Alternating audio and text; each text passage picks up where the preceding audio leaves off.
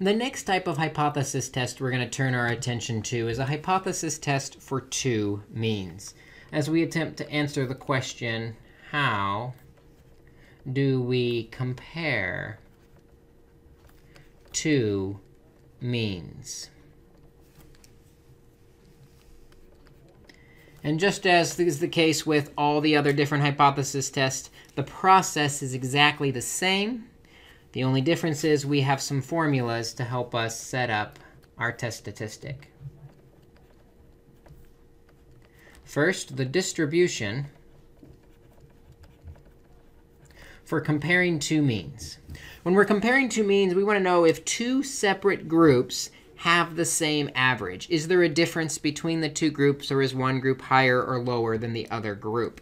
And when we're interested in comparing them, what we're really comparing is the difference, or the mean of the first group minus the mean of the second group.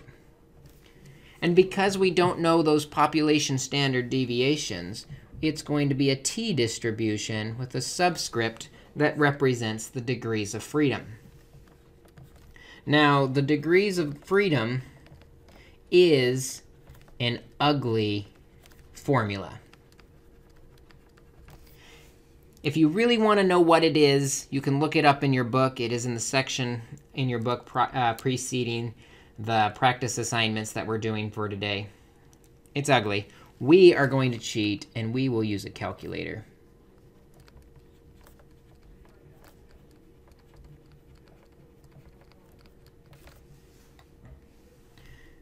We'll also use a calculator to find the t-statistic, but just so that we have it, the standard error for two means is the square root of the first standard deviation squared divided by the first sample size plus the second standard deviation squared divided by the second sample size. And then we use that standard error to calculate our test statistic, t, which is the difference in the means, a and b, divided by the standard error. But as was the, with the case with the t-distribution with one mean, it will be also the case with the t-distribution with two means that we will use the calculator to do the hard calculations for us. The setup is identical. First, you will hit the Stat button. Then you will scroll over to tests.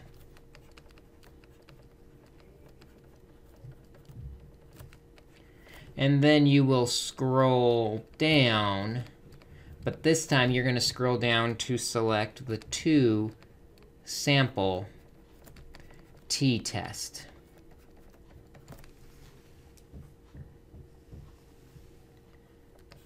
Once you're in the two sample t-test, you will enter all the stats we have from our problem. And again, if the calculator is expecting you to enter the data, we're not going to enter the data. So you might need to highlight stats if needed. When you get in there, the first thing it's going to ask you is for x bar 1. That is the first sample mean.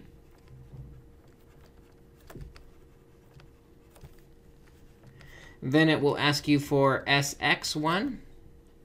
That is the first sample standard deviation.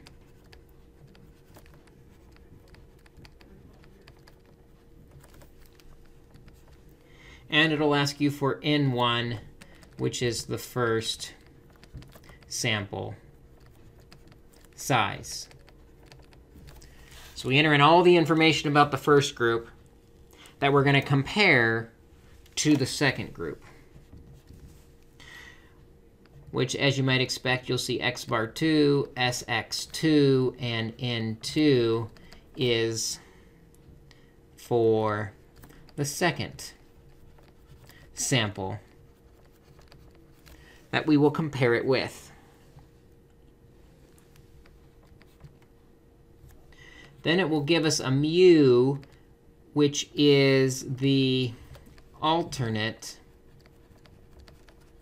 hypothesis symbol.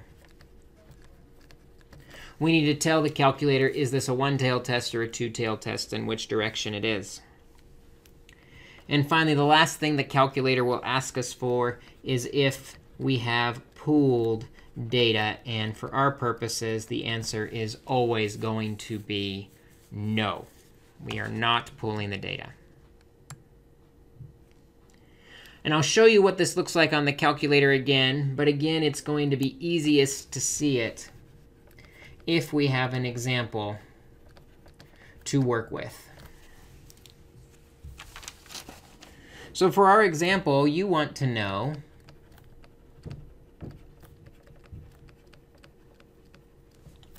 if there is a difference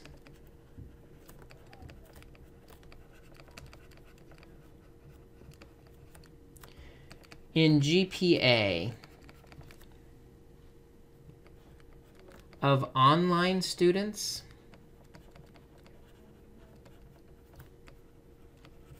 and face-to-face -face students.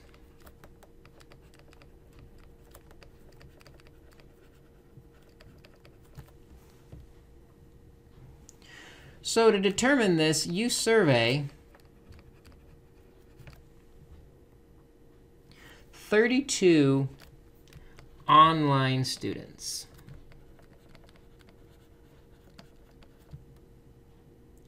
who have an average GPA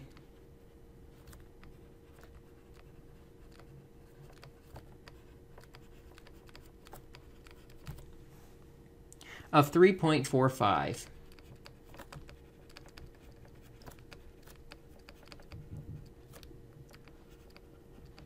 with a standard deviation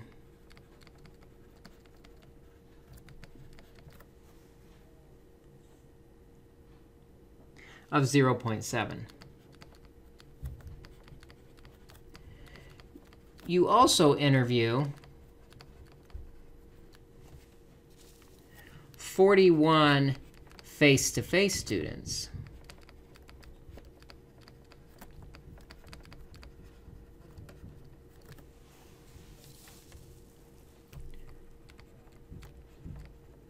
Who have an average GPA of 3.67 with a standard deviation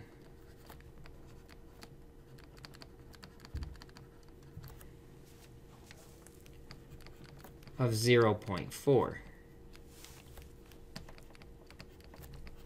If alpha equals 0.10,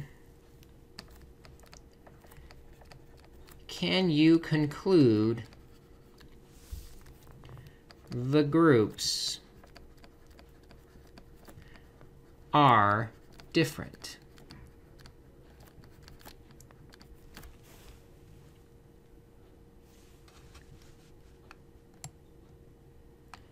We're comparing the average between the two groups, not just a claim and testing against a claimed GPA. We just want to know, is there a difference between these two groups?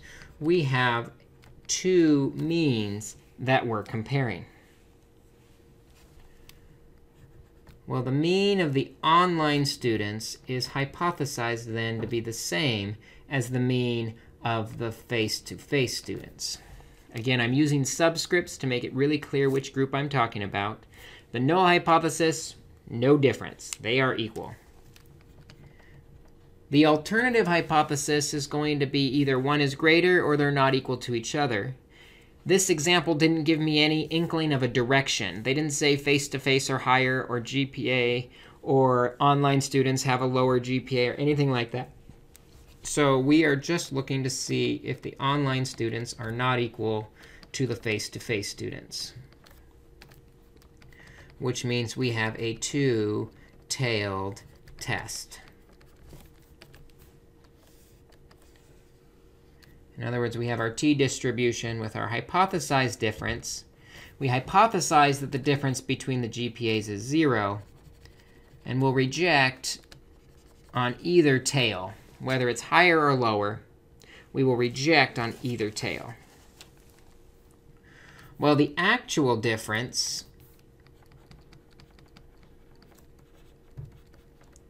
let's add that to our picture. The actual difference in GPAs, and we have to subtract in the same order of the hypothesis. So the online GPA has to come first. The online GPA was 3.45. And we subtract the face-to-face -face GPA of 3.67.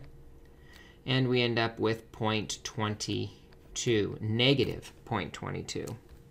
So negative 0.22 is the x value we're looking for. We need to figure out what the t values are. Well, our distribution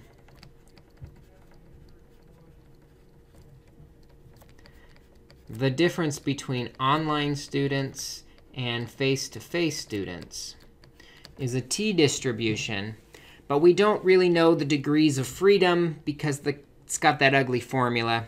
So we're going to go to our calculator.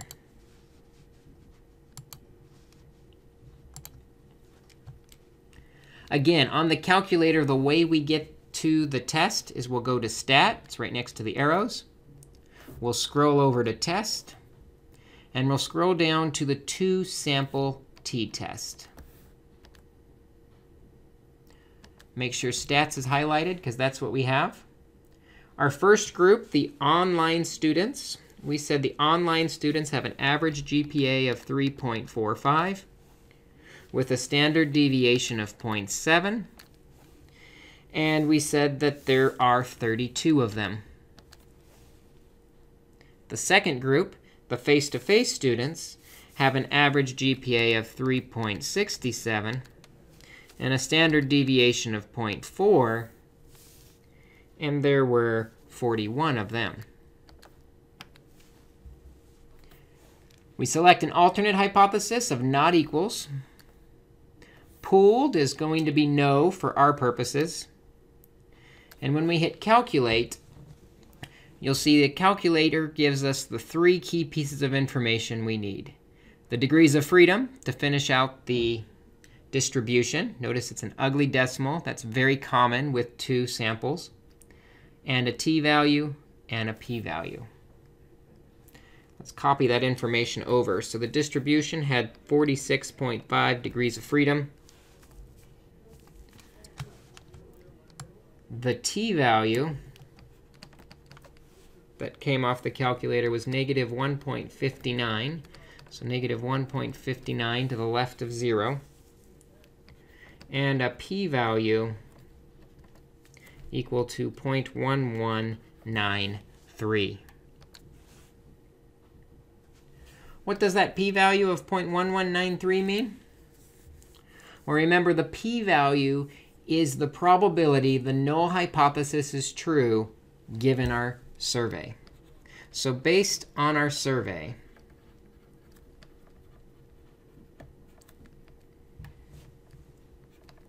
the probability the average GPA is the same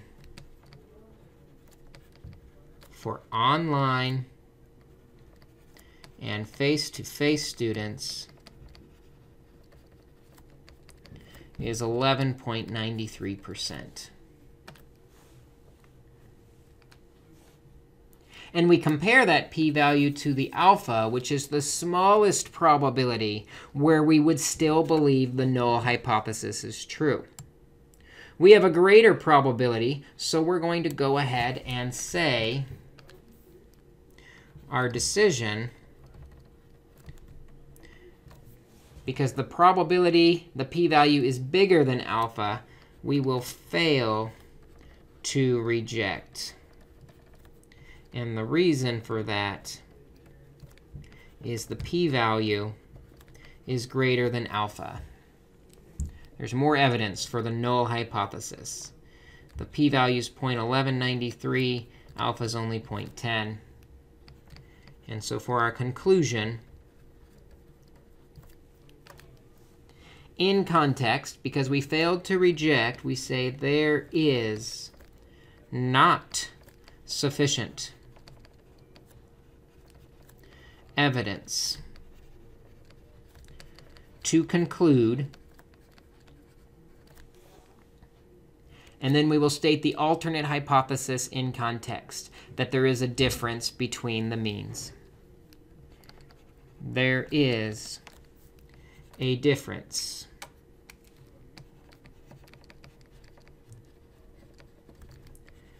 between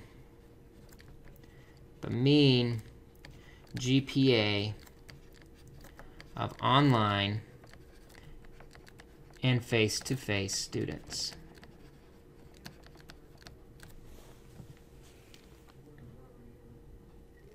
Again, we should start to feel really familiar and comfortable with this process of going through a hypothesis test.